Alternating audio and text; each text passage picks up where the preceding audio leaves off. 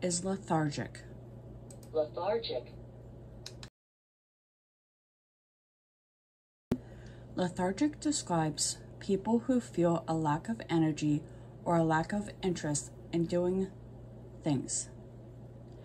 It is sometimes used figuratively, as in a sluggish and lethargic economy. The jet lag from their weekend, week long international honeymoon left them feeling lethargic for a few days. And a quote by Ginny Duffy of the Atlantic Journal Constitution on June 16, 2024, states After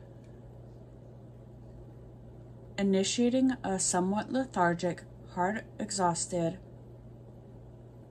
uh, audience of the fifth, uh, baseball player Matt Olson earned further cheers in the seventh as the Braves' out onslaught continued.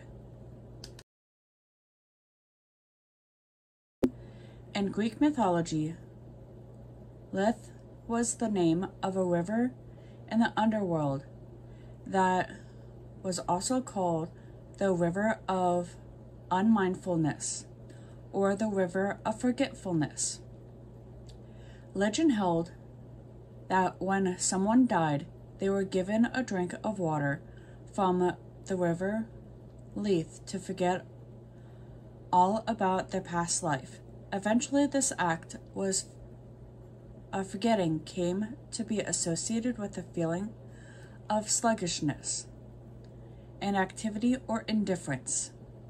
The name of the river and the word lethargic, as well as the related noun lethargy, all came from Lethe, Greek for forgetfulness.